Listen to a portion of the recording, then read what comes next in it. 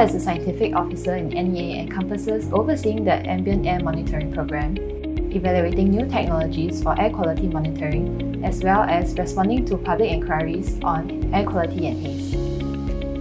My current role as an engineer involves three major components.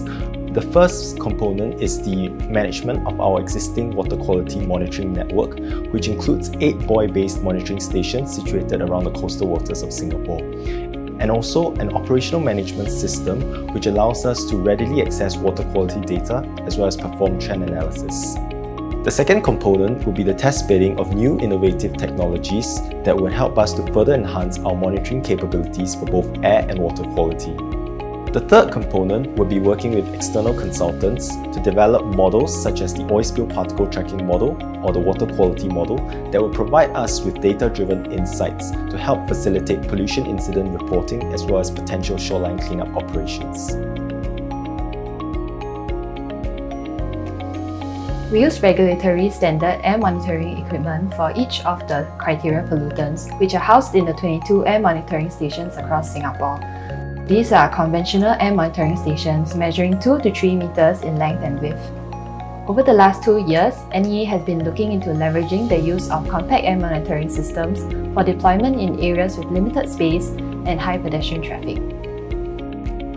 So there are actually two main ways in which we monitor water quality. The first is in situ and the second is ex situ.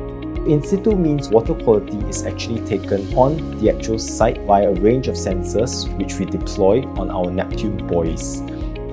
For ex situ, it is more of a traditional method in which water samples are collected on site and subsequently transported to the lab for further testing and analysis. One of the more common enquiries received are regarding hazy skies and poor visibility. These are often tied to the air being more polluted, and yet the PSI on our haze website remains in the good to moderate range. These are usually attributed to the high humidity, where the presence of water droplets in the atmosphere can scatter light, giving a sense of light hazy conditions, as well as the accumulation of aerosols and particulate matter under light wind conditions. One of the most commonly received feedback from the public is whether it is safe to enter seawaters at recreational beaches. For recreational beaches, the key parameter of concern is Enterococcus, which is a type of bacteria that generally indicates fecal pollution in the waters and therefore pose significant health risks to vulnerable groups. Since October 2020, NEA has introduced the Beach Short-Term Water Quality Information, which provides the weekly water quality bandings with accompanying advisories to enable the public to safeguard their health when engaging in recreational beach water activities.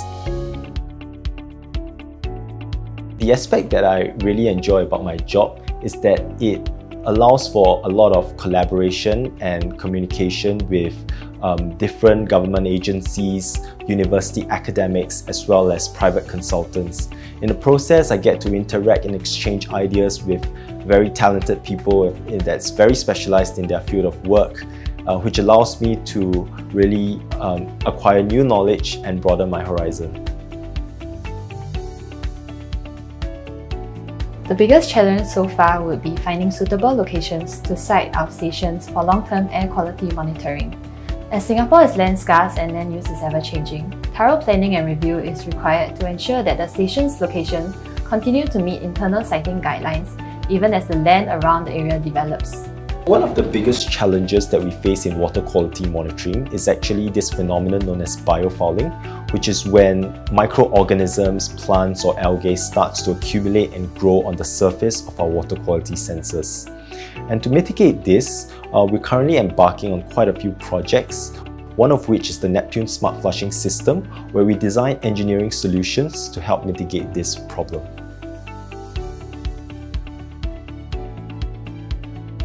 It requires an enormous amount of time and effort from identifying a new technology to finally operationalizing and implementing it for routine operational purposes. In the process, we have to test and validate the accuracy, the measurement ranges, as well as the operating conditions of this new technology to ensure that it is reliable and robust to adapt to changing environmental conditions.